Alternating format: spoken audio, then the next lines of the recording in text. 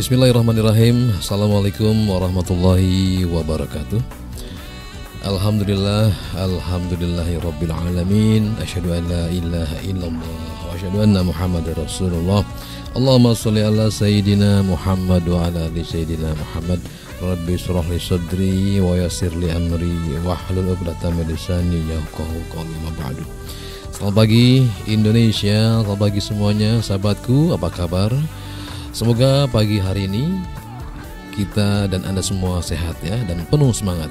Tentunya dalam naungan rahmat serta ridho dari Allah Subhanahu wa taala. Amin amin ya Allah ya rabbal alamin. Sahabatku, alhamdulillah hari ini saya Yosa dapat kembali hadir bersama Anda selama kurang lebih satu setengah jam ya atau 90 menit di program Sehatku, radioku, inspirasi spirit hati. Untuk hari ini hari Selasa tanggal 12 Safar 1445 Hijriah atau bertepatan dengan tanggal 29 Agustus 2023. Acara ini serentak disiarkan di seluruh jaringan Radioku Network antara lain di 104,8 FM Radioku Kuningan. 92,4 FM Radioku Majalengka. 104,7 FM Radioku Batam. 1089 AM Radioku Bogor. 88 FM Radioku Kuburaya Pontianak. 89,6 FM Radioku Purbalingga. 87,6 FM Radioku Berau Kalimantan Timur 106,3 FM Radioku Martapura dan 93,6 FM Radioku Aceh ya. Dan Anda juga bisa mendengarkan acara ini melalui audio streaming kami di www.buyayahya.org www.radioku.com dan www.radioku.com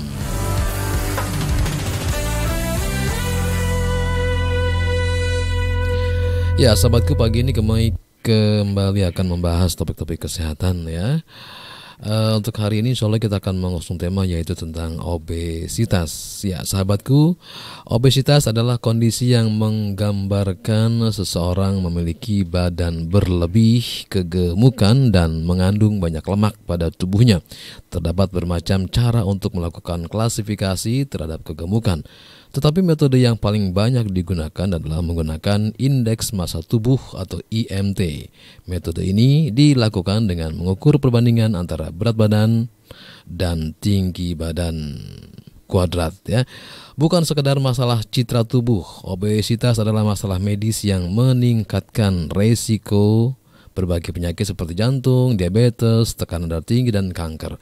Ada banyak alasan mengapa banyak orang yang kesulitan menurunkan berat badan, sebab obesitas umumnya hasil dari faktor keturunan, fisiologis, dan juga lingkungan. Baik sahabatku, Alhamdulillah pagi ini sudah hadir di studio bersama saya Dr. HM Firdaus MMR selaku narasumber kita pagi hari ini. Kita sapa dulu beliau. Assalamualaikum Pak Dokter. Waalaikumsalam warahmatullahi wabarakatuh. Pagi ini kita kembali belajar bersama dan uh, membahas tentang obesitas ya. Ini saya ilhamnya nih kemarin ada di apa namanya di berita itu ada orang yang sempat sampai 300 kg itu apakah benar sampai 300 kg berarti kan kilogramnya itu nggak ada sampai 300 kan? Atau berapa? Timbangannya maksudnya? Ada timbangannya khusus. Oh khusus. Iya, nggak nggak nggak yang diduduk itu ya yang buat ya? nimbang gabah. Kirain yang berdiri ya. Ya kita subhanallah itu pelajaran ya yang bisa kita ambil. Jadi ya saat berlebihan pun ya tidak baik, saat terlalu kurang pun tidak baik. Nah, iya. kita akan bicara yang pas-pas saja ya. Hmm. Belajar hari ini bagaimana kita berpola hidup yang pas. Yang pas. baik. Izin menyapa baik, pendengar. Assalamualaikum warahmatullahi wabarakatuh. Waalaikumsalam.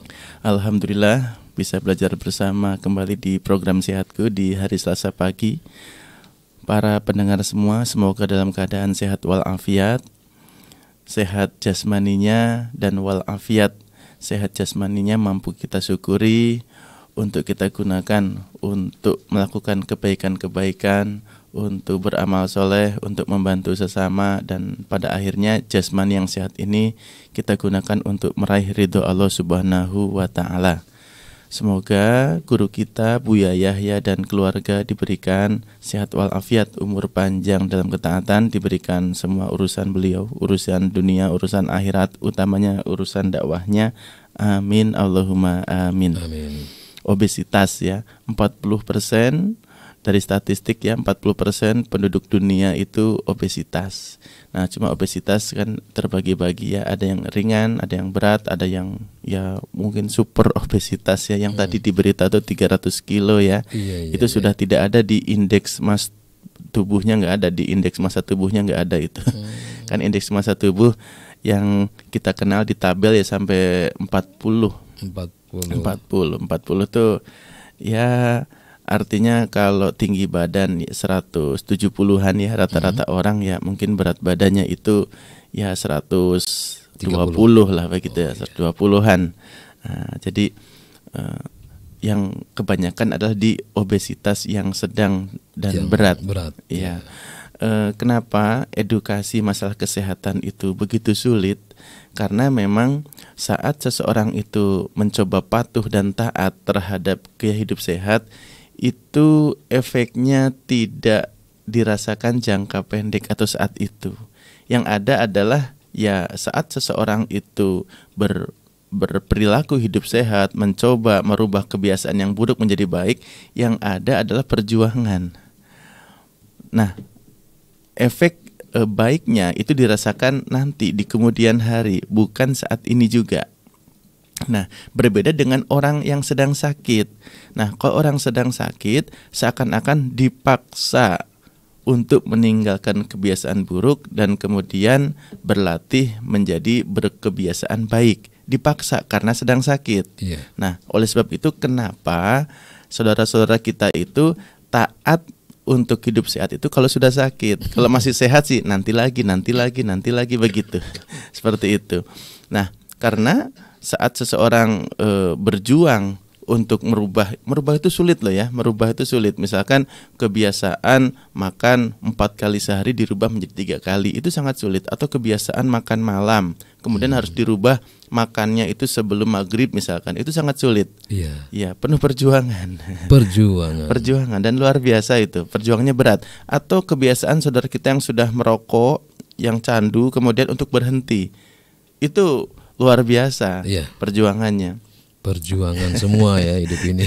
ya, sedangkan uh, efek yang dirasakannya itu untuk untuk jangka untuk panjang. jangka panjang bukan saat ini kecuali saudara kita itu diberi sakit. Jadi misalkan uh, seseorang sudah uh, mengidap penyakit paru, obstruksi atau mungkin uh, ada tuberkulosis atau mungkin kanker paru, maka ya saat itu juga langsung berikrar saya akan taat nasihat medis begitu. Nah, kita hendaknya tidak perlu menunggu sakit untuk taat untuk berperilaku sehat. Nah, kita bagaimana sekarang berikrar bahwa badan ini adalah titipan dari Allah, amanah dari Allah, maka kita berkewajiban menjaganya. Nah, berperilaku hidup sehat itu dalam konteks menjaga amanah sehingga sebetulnya wajib. Ya kalau kita menjaga barang titipan kan wajib sebetulnya. Menghindarkan dari kerusakan dari kemudaratan dari kecelakaan. Itu kan wajib kita menjaganya. Iya. lain halnya kalau nggak sengaja ya. Misalkan kita sudah tidak ada niat untuk merusaknya kemudian ya kodarullah rusak juga. Itu hmm. nggak masalah. Yang penting kan diniat. Nah kalau tapi kan juga e, niat ingin memelihara tapi tidak ada action juga berarti niatnya ya berarti kan Setengah ya basa-basi ya. kan begitu. Iya. Jadi niat kita wujudkan kemudian dengan berperilaku hidup sehat. Nah, tetapi kan patokannya harus tahu dulu mah. Nah, makanya belajar kan gitu. Hmm. Jadi belajar menambah wawasan, kemudian nah tidak mengabaikan hal-hal eh, yang menjadi apa nasihat bahwa kalau kita punya perilaku e, masih merugikan kesehatan, misalkan kita masih merokok. Nah, maka saat kemudian ada nasihat, itu kita harus minimal tidak denial. Denial itu ngeyel atau Denial menghadirkan itu bahasa apa, Bro? denial itu ya Bahasa bahasa, Inggris. psikologisnya. Oh, bahasa Inggris. ya. Orang ngeyel gitu ya. Denial. Nah, Oh, atau iya. kalau bahasa pondok mendatangkan hujah. Berhujah ya. Iya. Jadi ya memang semua aktivitas kita itu kita mampu hadirkan hujah baik yang mendukung ataupun hujah yang kontraknya itu selalu ada kok. Iya. Eh, Karena apa pun ada kedua sisi itu. Jadi minimal kita kalau misalkan dapat nasihat tinggalkan ini karena merugikan kesehatan ya minimal kita ya Tinggalkan. memohon memohon pada Allah Ya, mohon dimudahkan. Semoga dimudahkan. Birahmatika ya arhamar rahimin ya. Jadi berhenti merokok dengan keadaan yang baik. Bukan sakit kan Bukan juga harus sakit. harus lengkap kan. Jadi berdoa itu ya Allah mudahkan berhenti merokok ya. Ya, semoga dengan dalam keadaan sehat walafiat kan begitu. Karena kami juga ada statistik orang berhenti merokok itu 80% akibat sakit, 20%-nya perjuangan. Perjuangan. perjuangan. Ya dapat dapat mungkin sesuatu yang mungkin dapat cucu atau mungkin Hikmah, dapat ya. istri ingin menyenangkan istrinya ya dengan berhenti merokok. Pokoknya ada sesuatu yang menjadi motivasi untuk berhenti. Ada yang ber- seberuntung itu. Tapi ada juga kebanyakan yang harus dengan sakit dulu. Di ya. apa namanya dikasih Jadi dalam konteks ini sakit pun hakikatnya rezeki kan artinya mampu mengingatkan seseorang ya untuk kembali menjadi hidup sehat begitu. Nah, kita sebaiknya saat kita sehat ini bagaimana kita menjaga menjaga amanah ini. Maka konteks menjaga badan supaya sehat yaitu olahraga, menjaga makanan, berperilaku sehat, menjaga faktor stres supaya terhindar dari stres. Itu semua jadinya kewajiban karena Iya. konteksnya menjaga ya. Kan kita nggak boleh menyengajakan sakit. Nah, tidak boleh. tidak boleh. Adapun kalau kita sudah berupaya tidak sakit tetapi ternyata sakit juga ya sudah itu sakitnya karunia kan gitu ya. Karena dengan sakit orang dapat dihapuskan dosa diangkat derajat kan begitu. Dan sabar itu ya ibadah termahal kan begitu. Jadi kami sering kali ke pasien itu eh, sering ya eh, memotivasi me- menghibur ya bahwasanya sakit kan bukan keinginan ibu tetapi kemudian Allah beri sakit ya hakikatnya Allah ingin mengangkat derajat ibu. Jadi gini saat sholat kita dengan keadaan sehat walafiat pahalanya agung di sisi Allah. Tapi dengan sakit tapi tetap sholat masya Allah itu sudah ibu tinggal pingin apa balasannya nah Allah kabul begitu. Jadi sangat sangat tinggi. Makanya kalau di rumah sakit itu yang antri panjang, kemudian sabar, eh, kemudian dari pagi sampai siang ya, kemudian dia ridho ya sudah itu sudah eh, luar biasa. Ya, jadi jadi eh, fasilitas pahala VVIP orang Iya. sakit itu. Yang sakitnya, Yang yang, sakit, nungguinnya iya. juga Iya. sabar semua Iya. itu. Iya. Dan Allah memberikan eh, ujian itu sudah ditakar bahwa ibu dan bapak mampu. Kenapa Allah nggak memberi ujian yang sama kepada saya? Allah tahu saya lemah begitu, sehingga saya tidak dikasih ujian sebesar eh, yang ibu eh, apa dapat begitu. Jadi jadi ya sudah kalau yang sudah sakit bahwa eh, ada ladang pahala yang sangat luas yaitu ladang pahala sabar dan ridho itu. Jika mampu menjalaninya masya Allah pintu surga gitu ya. Baik, kita sementara tahan dulu eh, perbincangan kita pagi ini. Untuk eh, Anda yang mau bertanya-tanya di acara ini eh, kami persilakan ya. Eh, untuk telepon Anda bisa gunakan di 085284700147 untuk SMS atau WhatsApp di 081321461079 untuk Facebook Anda bisa ketik Radio Cirebon. Kami eh, segera kembali.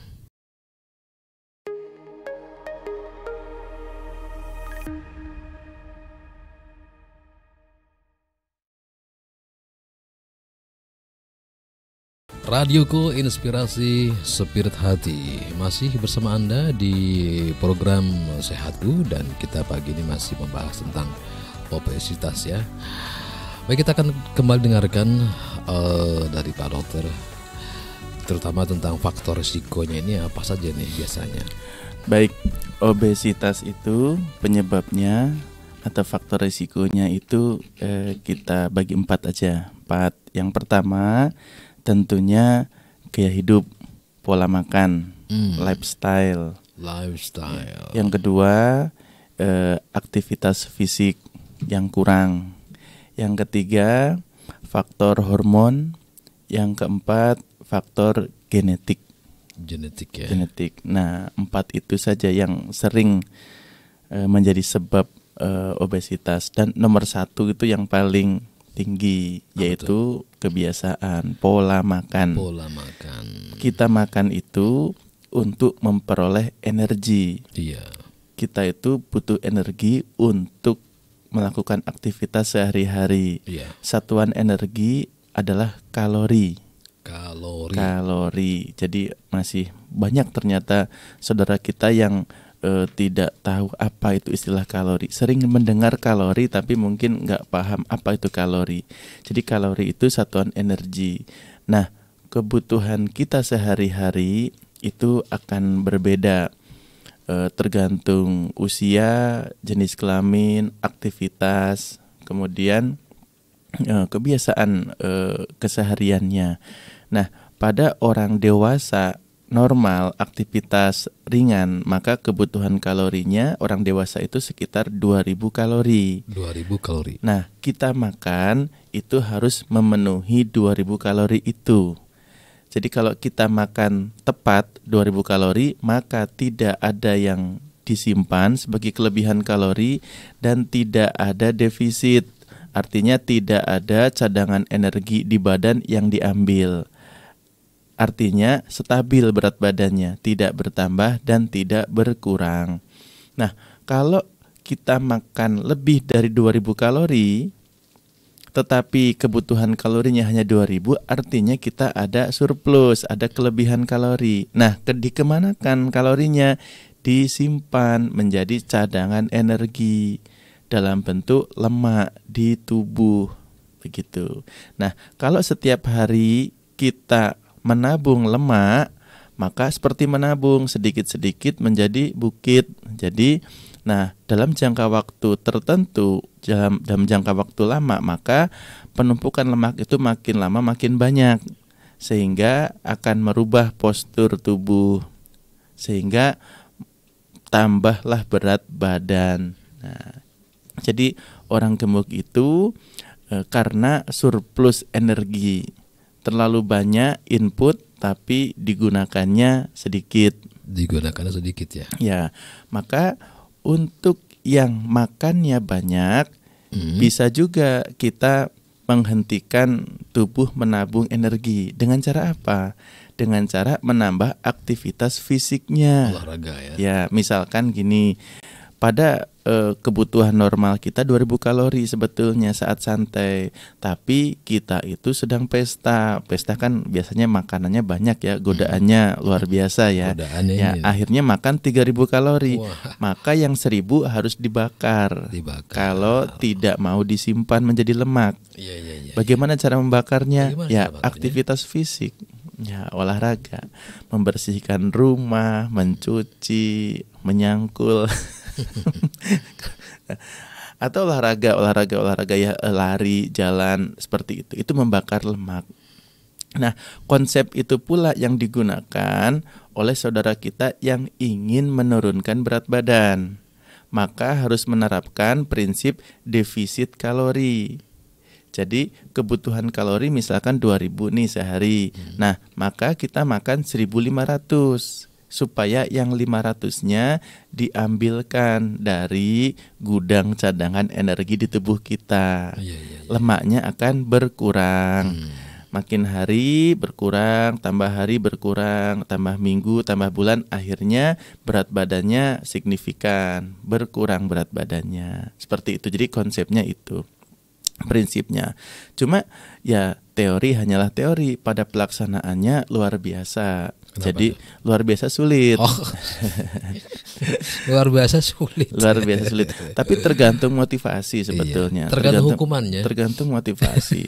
ya, bagi orang yang memang eh, aktivitas kesehariannya itu sangat tergantung dengan be- bentuk badan, eh, maka dia punya motivasi yang luar biasa. Ya, jadi kerjanya ya hanya itu me- Bakar lemak. eh, mengintervensi Oh, bentuk badan iya, iya, ya iya. makanannya diukur ditimbang kalorinya di ya terus dikalkulasi ya Hmm. jangan sampai ada yang berlebih Lari-lari sore itu. juga sama ya dok, ya bisa bakar bakar lari lari-lari lari siang itu. pagi siang sore nah siang Terus itu pakai ini lagi pakai apa? Oh, Pakai jas hujan. ya karena kan supaya berkeringat ya jadi Oh, iya, jadi iya, proses iya. berkeringat pun itu membakar kalori sebetulnya ya jadi jadi saat kita berkeringat ada pembakaran kalori intinya sebetulnya kita itu saat diam pun sedang terjadi pembakaran kalori Hmm. iya jadi ada kebutuhan basal eh, kalori tubuh ya jadi kalau kita diam pun itu 2000 kalori eh, sehari Hilang. dibutuhkan Oh dibutuhkan ya. Ya kan karena untuk bernapas, menggerakkan Iya. menggerakkan jantung, kemudian mengem- meng- meng- mengembang kempiskan paru-paru, Hmm. Mengedipkan mata, itu butuh kalori itu. Iyalah, nanti iya. nggak bisa kedip balik, Iya. nggak bisa balik lagi. Ya, itu detak detak eh, apa eh, jam, detak Oh, jam itu. jam. Iya kan butuh energi kan? Iya, Ya, baterai. Iya, eh, untuk bergerak butuh energi. Iya. Nah, kita untuk kedipnya mata, Mata. kita itu butuh energi. Betul. Iya, jadi kita itu perlu kalori. Nah, eh, sehingga kalau kita ada dok, bagaimana dengan orang berpuasa? Nah, orang berpuasa itu tidak masalah kan sebetulnya ada juga eh, ada masih makan sahur dan kemudian nanti berbuka puasa. Yang salah itu kan berpuasa tanpa sahur dan tanpa berbuka. Jadi nggak pua nggak nggak makan sama sekali itu kan nggak boleh. Oh, Tetap iya. tetap bahwa kesempurnaan puasa itu ada makan sahurnya dan ada Bukanya. bukanya begitu. Nah, eh, saat kemudian tubuh kita tidak ada asupan energi, nah maka tubuh kita akan menggunakan energi cadangan. Energi cadangan. Iya, jadi ada mekanisme pertahanan tubuh kita. Kalau eh, energi di tubuh kita drop, misalkan, maka akan terjadi eh, pembongkaran tadi cadangan energinya untuk digunakan sebagai eh, tenaga untuk aktivitas fisik. Nah, itu yang berperan apa? Ya, ya semua kerja tubuh, hormon, kemudian enzim-enzim semuanya. Jadi kalau orang berpuasa eh, saat di tengah hari atau mungkin sudah menjelang sore itu kan normalnya harusnya lemes ternyata kan tidak Iya. Eh, karena apa jadi eh, tubuh itu sudah sedang menggunakan energi cadangan Iya, sama baiknya dengan asupan jika kita tidak puasa. Iya, jadi eh, biasanya orang berpuasa itu kalau yang sedang awal ya, jadi kalau sudah terbiasa sih nggak pernah lapar. Tapi kalau misalkan yang awal itu rasa lapar itu biasanya di jam 8 pagi, jam 9 pagi, jam 10 pagi. Itu saat tubuh kita sedang eh, kehilangan apa gula darah, kemudian untuk kemudian berubah menjadi tadi eh, membongkar cadangan energinya. Nah, sehingga pada jam 11 12 itu sudah stabil lagi. Nah, seperti itu karena rasa lapar itu adalah saat tubuh kita masih mengandalkan energi dari makanan, kemudian makanan itu untuk beberapa jam terhenti. Nah, itu Iya. biasanya kita lapar. Tapi kalau lapar itu kita tahan, maka tubuh kita lapar itu akan hilang dan berganti energinya soalnya sudah menggunakan cadangan energi yang ada di badan. Seperti itu.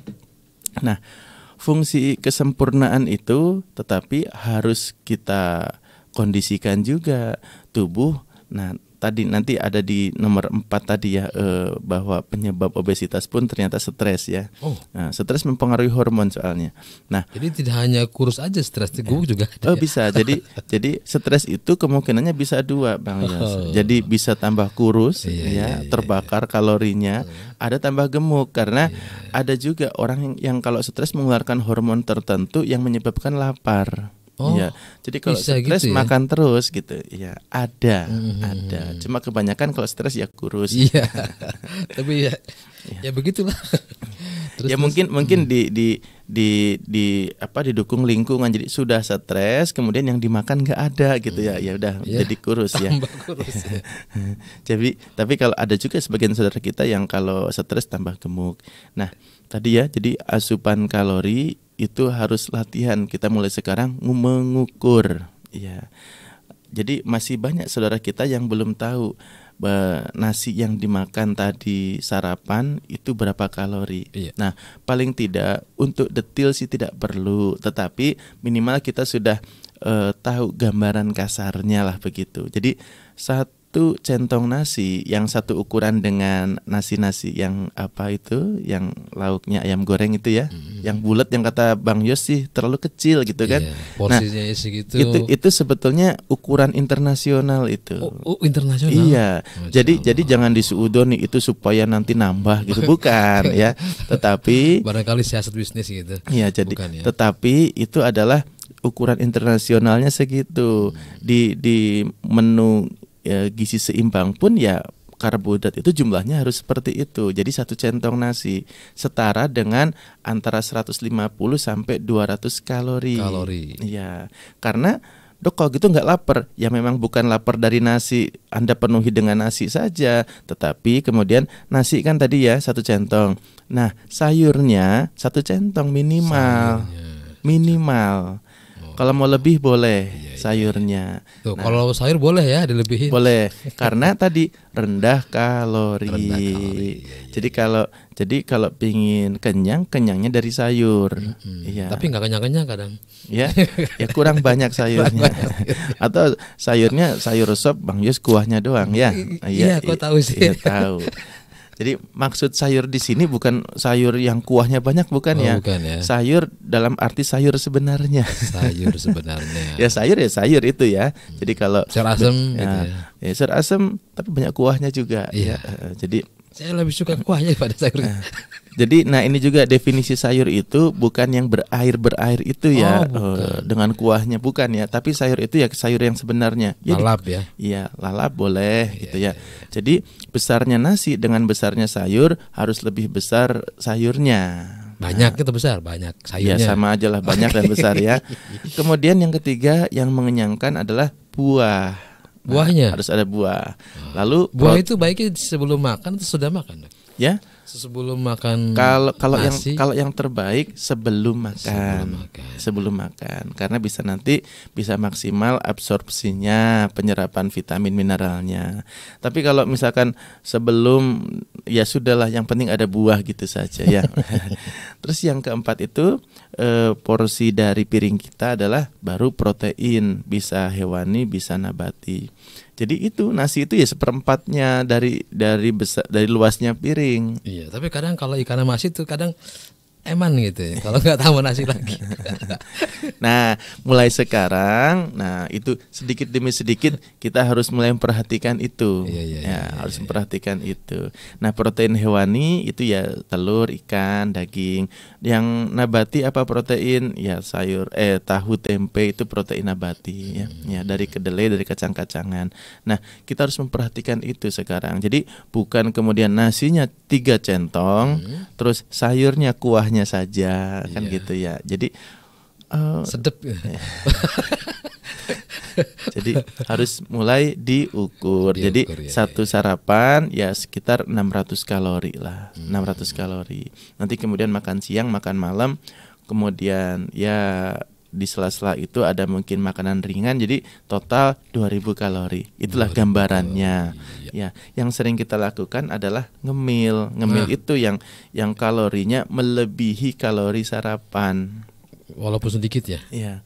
Bukan ya ya pokoknya Sedikit, ngemil sedikit. ngem- ngemil itu kalau sedikit ya masih aman, tapi kalau sudah kemudian eh apa mm, toplesnya itu dibiarkan terbuka terus ya, maksudnya ya. dikit-dikit ngemil gitu, Nah, iya, dikit-dikit nah, ngemil betul. gitu. Jadi itu membuat eh, jadi cadangan energinya tambah hari tambah banyak tambah banyak sehingga obesitas begitu. ya. Jadi mulai sekarang kita harus berhitung kalori ya.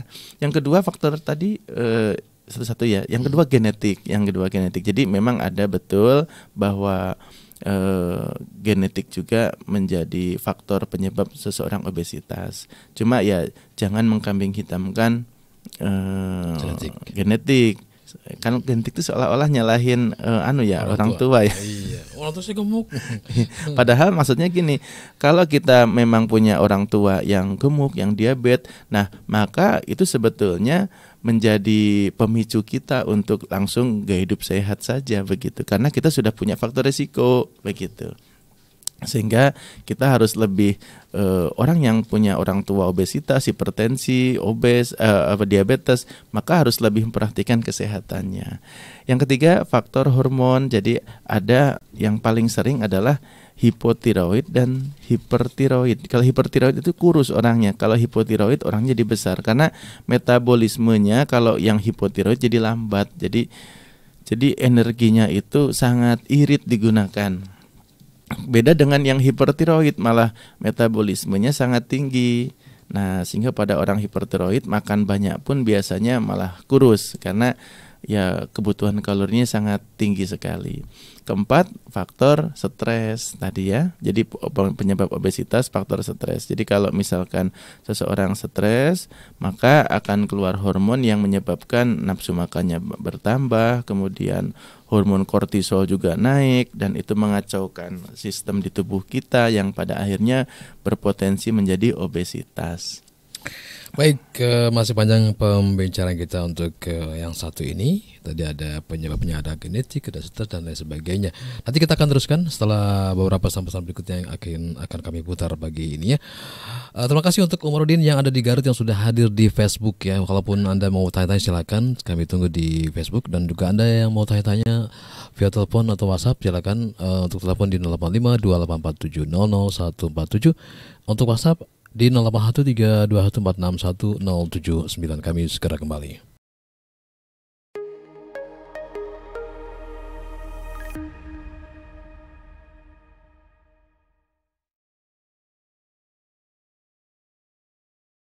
Ya Radiku, inspirasi spirit hati dan kita masih bersama di program Sehatku dan juga masih ditemani oleh Dr. Firdaus ya tentang obesitas. Tadi sudah disampaikan tentang uh, apa namanya penyebabnya ada dari genetik dan juga termasuk stres. Nah ini saya baru tahu orang stres bisa gemuk. Tapi kayaknya lebih lebih baik begitu ya daripada tambah kurus. Tapi nggak nggak pantas dok kalau misalnya ada orang gemuk, kamu lagi stres ya. Jadi bilang uh, jadi memang ya ya pada akhirnya uh, kurus dan gemuk hmm. pada akhirnya tidak bisa kita justifikasi iya. ya. Hmm. Jadi yang kurus ternyata miliarder ada, iya. ya kan? Yang yang gemuk ternyata stres ada kan begitu. Nah, okay. eh, kita sekarang ke bahayanya ya. Wah, apa yang bisa apa, apa yang bisa diakibatkan dari obesitas? Iya. Ya tentunya penyakit degeneratif yang mengiring faktor usia. Diabetes itu paling tinggi ya, diabetes, diabetes. hipertensi jantung ya semuanya. Semuanya eh, penyakit di tubuh kita bisa dipicu oleh obesitas karena obesitas sendiri itu nanti akan mengganggu metabolisme, akan mengganggu sistem tubuh kita. Nah, diabetes Nah, itu kan satu paket biasanya. Jadi kalau lifestyle-nya, pola makannya buruk, maka diabetes adalah satu, penyakit yang e, berpotensi hadir. Nah, diabetes tipe 2 yaitu tipe tipe diabetes yang diakibatkan karena pola makan atau kebiasaan yang buruk. Kan diabetes dibagi dua ya, ada tipe 1 yaitu memang diakibatkan genetik dari kecil dari lahir ya sudah ada gangguan uh, pada produksi insulinnya. Tetapi kalau yang tipe 2 ini yang diakibatkan oleh gaya hidup atau pola kebiasaan, biasanya karena resistensi insulin pada akhirnya. Uh, mungkin kalau saya bikin perumpamaan ya, biar biar mudah apa sih insulin, apa sih resisten itu. Jadi begini, saat kita mengkonsumsi gula baik dalam bentuk gula gula betul atau mungkin e, karbohidrat yang berlebih. Karbohidrat kan nanti di tubuh di, di dirubah jadi gula juga. Yeah. nah maka e, tubuh kita akan otak menyuruh pankreas lah. Eh pankreas ayo produksi insulin. Jadi pankreas itu organ tubuh kita yang memproduksi insulin insulin, yeah. insulin itu apa sih? Insulin itu yang tugasnya nangkepin gula yang masuk tadi ditangkepin sama insulin kemudian dimasukkan ke sel. Jadi sel itu adalah uh, apa bagian tubuh kita terkecil ya hmm. yang dia uh, apa uh, tujuan dari gula, tetapi harus dibantu oleh insulin. Insulin itu yang mengantar, yang mengetukkan pintu lah begitu. Hmm, jadi iya, iya, ya, iya. jadi Developer, eh, ya. eh, gulanya ditangkap, dimasukkan ke sel begitu. Nah, karena eh, suatu pola kebiasaan yang buruk, satu gulanya tinggi terus, yang kedua pankreas juga kelelahan, dia capek juga untuk bisa toleransi, bisa adaptasi dengan kebiasaan seseorang yang buruk, kelelahan juga akhirnya marah pankreasnya. Yang ketiga, yang tadi selnya malas buka pintu. Males- males, malas buka ma- iya malas buka pintu. Jadi ya akhirnya apa? Gula darah itu ya eh, eh, terombang ambing terlantar Oh, iya, Ah, iya. gulanya Di terlantar awang-awang. terlantar kemudian ya memenuhi tetap di pembuluh darah Di pembuluh darah, iya, ya. dia akan nah merusak dinding-dinding pembuluh darah jadi gula itu akan merusak dinding pembuluh darah Nah, prosesnya lama, lama-lama, lama-lama, lama. Nah, dinding pembuluh darahnya rusak.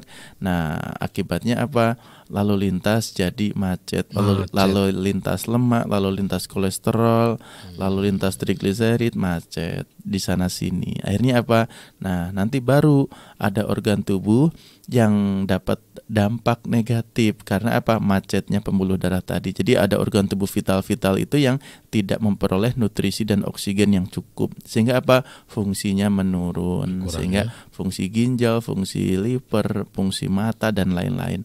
Nah, proses dari kerusakan dinding pembuluh darah itu bisa kita kenali dengan rasa kesemutan, Hmm, baal, mati rasa, yang makin lama makin sering seperti itu. Nah, kita harus waspadai. Itu berarti ada gangguan aliran darah. Jadi untuk eh, menjadi sebuah keluhan eh, diabetes itu perlu waktu yang panjang. Sehingga kenapa kita penting medical check up? Karena bisa jadi seseorang itu gula darahnya tinggi di atas 300, 400 tapi mungkin selama lima tahun atau 10 tahun tanpa keluhan apa pun. Karena memang apa yang terjadi dok? Karena belum rusak pembuluh darahnya, belum rusak organ-organ tubuhnya, belum menurun fungsinya seperti itu. Jadi kalau kemudian alasan dari seseorang saya nggak ke dokter karena nggak sakit dok, gula darah saya tinggi tapi saya ya bugar-bugar saja. Jika alasannya itu berarti anda menunggu rusaknya organ tubuh anda dulu baru ke dokter. Dan itu adalah terlambat. Jadi kalau mau ngobatin gula, mengkontrol gula, memanage gulanya, itu ya saat kita nggak ada keluhan apa pun. Iya, iya, saat kita mendapati gula darah kita tinggi, maka kita sudah harus taat itu. Dan dokter pun tidak kok langsung obat nggak. Biasanya itu dengan eh, perubahan eh, pola hidup dulu. Iya. Jadi peruba- perubahan pola hidup dulu, perbanyak aktivitas fisik, kurangi kalori, hindari stres itu. Baru nanti kemudian dengan dengan non farmakologis barusan kok tidak mampu eh, mengintervensi kadar gula darahnya maka dibantu dengan obat begitu. Obat itu fungsinya tadi me- me- menstimulasi organ tubuh pankreas untuk memproduksi insulin atau tadi membantu sel untuk mudah dapat membukakan pintu untuk gula darah seperti itu. Jadi kalau kita ke dokter kok nunggu sakit itu berarti sebetulnya kita ser- sangat terlambat karena sudah ada yang rusak berarti di tubuh kitanya. Seperti itu. Jadi kalau ke rumah sakit jangan nunggu sakit ya. Betul. Eh, ya kalau ke rumah sakit tuh rumah sakit ya memang memang orang sakit. Orang sakit. Kita ada puskesmas, Oh ada maksudnya ke dokter. Iya, ada dokter pribadi, ada kemudian tenaga-tenaga kesehatan di lingkungan kita. Mereka tugasnya promotif preventif. Sebetulnya tu- tugas mereka itu mencegah kita sakit Iya, gitu. iya, iya, Karena iya. yang tugasnya ngobatin ya rumah sakit itu sebetulnya. Iya. Jadi kita akan dikenalkan dengan bagaimana cara hidup sehat dan kita apa akan akan diberitahu apa kebiasaan kita yang buruk. Tinggal taat itu saja kita tuh sebetulnya. Jadi taat itu ya saat kita masih sehat. Nah, kebanyakan kita taat kesehatan saat kita sudah sakit. Alhamdulillah dok berhenti merokok sekarang dok. Tapi sedang batuk-batuk uhu-uhu dan sedang eh, kontrol rutin ke dokter paru kan begitu ya kan kan sangat tidak indah lah begitu. Iya, iya, iya. Jadi, sih efeknya iya, iya. jadi jadi dia berhenti merokok tuh karena memang terpaksa kan begitu. Nah ya, mudah-mudahan kita bisa bisa be- bisa menghindari aktivitas-aktivitas yang merugikan kesehatan saat kita masih sehat seperti Iya, itu. iya. Komplikasi obesitas tadi ada disebut diabetes, Iya. penyakit jantung. Kanker juga termasuk ya, Dok ya? Ya, termasuk jadi eh, kanker itu kan sel yang eh, apa sel yang tidak terkendali ya Hmm. ya bisa diakibatkan oleh hal-hal seperti itu. Jadi eh, terjadi oksidasi. Jadi eh, yang paling dibahayakan dari gula yang berlebih itu adalah oksidasi. Jadi kan sering mendengar antioksidan ya. Iya, antioksidan. Nah, antioksidan. Nah ya antioksidan itu artinya yang eh, lawannya oksidasinya itu. Nah oksidasi itu yang dapat merusak dinding-dinding pembuluh darah. Kemudian dapat merubah tadi eh, eh, berperilaku sel yang tadinya taat. Jadi sel itu ada ketaatan untuk eh, dia udah terprogram ya sel itu. Nah, sel kanker adalah yang dia sel nakal. Jadi dia keluar dari perintah sehingga dia mem- membelah diri, memperbanyak diri di luar eh, sistem sehingga membahayakan tubuh kita. Ada nggak kaitan dengan yang kemarin kita sebut sebagai osteoartritis? Bisa juga. Oh, iya, jadi iya, iya. iya, iya. Kalau osteoartritisnya kan itu pasti terjadi di Iya. di ol- ol- pada semua orang ya. Hmm. Walaupun ada yang sangat ringan dan ada juga yang sangat berat tergantung tergantung eh, apa eh, gizi, tergantung kebugaran seseorang, kebiasaan, rajin olahraga atau tidak begitu. Tetapi eh, obesitas ini, nah kalau bertemu dengan osteoartritis makin parah osteoartritisnya, ya karena kan biasanya osteoartritis itu kan di sendi-sendi Iya. ya. Nah sendi yang paling sering kan lutut dan panggul, Iya. dan itu tumpuan dari seseorang yang punya berat badan berlebih. Jadi kalau eh, bayangkan lututnya orang yang berat badannya 60 kilo dengan yang 100 kilo itu besarnya sama, Sama, ya? tulangnya, sendinya. Tapi yang tadi yang 60 kilo hanya menopang memikul beban 30 plus 30 kanan kiri ya kanan 30 kiri 30 kalau yang 100 kilo tadi dia harus memikul 50 kilo 50 kilo Wow. Ya, jadi bebannya sangat berat sekali dan itu menjadi faktor risiko tersendiri. Ya, makanya kalau kita menjaga daya tahan tubuh itu ya juga sama sedang kita menjaga beban untuk lutut kita. Seperti itu. Orang dengan obesitas itu katanya rentan juga mengalami sleep apnea. Apa itu, Dok? Sleep apnea itu ya jantung itu. Jadi jadi Tidur eh, gitu. iya. Eh, apa namanya? serangan jantung lah begitu ya. Pernapasan Iya, iya, iya. serangan iya. jantung. Jadi obesitas memang eh, berkaitan dengan nanti faktor risiko penyakit jantung. Yang tadi ada kaitannya dengan rusaknya pembuluh darah tadi. Jadi eh, arteriosklerosis, jadi penyempitan eh, pembuluh darah itu dapat mengakibatkan ya jantung juga fungsinya menurun. Nah, sehingga banyak otot jantung tidak dapat suplai nutrisi dan oksigen dengan baik sehingga tidak efisien, tidak efektif. Akhirnya apa? Akhirnya ya jantung tidak mampu memompa dengan sempurna. Padahal kebutuhan eh, mungkin suplai energinya orang gemuk justru lebih besar juga. Jadi ya di situ ya. Jadi berkumpul faktor risiko, faktor risiko, faktor risiko yang buruk semua itu berkumpul jadi satu akhirnya menjadikan sebuah penyakit. Seperti itu. Ya, selain olahraga dan juga beraktivitas ya kira-kira apa lagi sih untuk pencegahannya ini supaya tidak terlalu gemuk atau terbilang obesitas. Sebetulnya cuma dua ya, olahraga dan pola makan itu saja. Dan eh, makin eh, makin tahun, makin akhir-akhir ini itu obesitas eh, faktor risikonya makin besar ya. Karena apa? Dulu itu kalau kita mau sebuah makanan itu harus berjuang ya. Paling tidak kita harus keluar rumah, kita harus Oh, pergi iya. yang jauh gitu kan. Sekarang sudah bisa dipesan dari kamar. Sudah Ya, dari ya. handphone saja. Jadi sudah kalorinya mudah datang, Hmm. kemudian kita tidak ada aktivitas membakar kalori. Mager, Ya, mager. ya, sudah sudah jatuh tertimpa tangga namanya itu. Iya. Kalau dulu kan minimal gini, untuk untuk sebuah makanan kita harus keluar rumah, ada Iya. aktivitas fisik. Itu Iya, membakar kalori dulu, apalagi belinya naik sepeda misalkan. Hmm. Iya kan? Sekarang tidak. Iya. Jadi bangun tidur sudah bisa pesan makanan, kemudian ah nanti Nggak lama datang ya, ya. ah, mau sholat dulu nanti pas pas salam pasti datang mamangnya. jadi Jadi seperti itu. Sudah di setting ya Iya. seperti itu. Jadi eh, godaannya makin besar sekarang ya. Baik, sebelum kita dengarkan eh, apa namanya kesimpulan untuk ke obesitas pagi ini, eh, kita akan dengarkan bersama-sama berikut ini ya. Dan jangan ke mana-mana, Anda masih bersama kami Radioku Inspirasi Spirit Hati.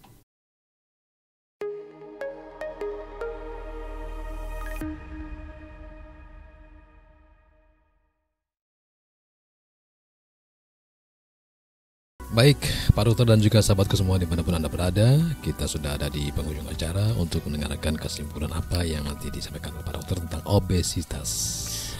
Baik, obesitas intinya kelebihan berat badan yang dapat diakibatkan oleh satu pola makan yang salah, kedua faktor genetik, ketiga faktor hormonal, faktor stres. Dan semoga kita dimampukan untuk bisa menjaga, memelihara badan kita amanah bahwa fisik ini harus kita rawat, kita jauhkan dari penyakit dan terus kita harus bugarkan karena badan yang sehat akan menopang kita uh, untuk uh, mudah melakukan kebaikan, beraktivitas amal soleh dan membantu sesama dan pada akhirnya fisik yang sehat kita ini mampu kita gunakan untuk meraih ridho Allah Subhanahu wa taala. Semoga bermanfaat. Baik, terima kasih uh, atas ilmu yang disampaikan tadi. Semoga kita bisa memahami dengan baik dan benar. Dan terima kasih untuk uh, seluruh jaringan Radioku Network yang sudah merilai acara Sehatku ini. Terima kasih atas kebersamaannya. Mohon maaf atas segala kekurangan. Mohon maaf juga jika ada kata-kata yang salah ataupun sikap yang kurang berkenan. Kami akhiri kebersamaan kita dengan doa kafaratul majelis. Subhanakallahumma wa bihamdika asyhadu an la ilaha illa anta astaghfiruka wa atubu. Saya Yosa. Saya Dr. Firdaus. Wassalamualaikum warahmatullahi wabarakatuh.